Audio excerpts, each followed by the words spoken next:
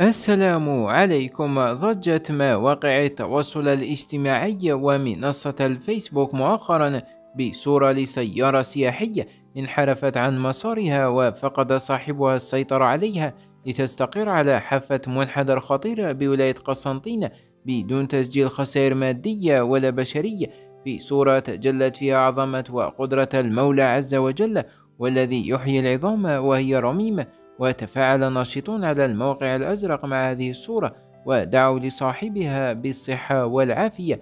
وعرفت الجزائر في الكثير من المرات حوادث جد خطيرة نجا أصحابها بأعجوبة من كوارث حقيقية ولم يصابوا حتى بخدوش صغيرة كما دعت الحماية المدنية والمصالح الأمنية المختصة في تأمين الطرقات وسلامتها مستعملي الطريق إلى ضرورة التقيد بقواعد السياقة السليمة واحترام السرعة القانونية وتخفيضها أثناء سوء الأحوال الجوية للحفاظ على سلامتهم وسلامة غيرهم.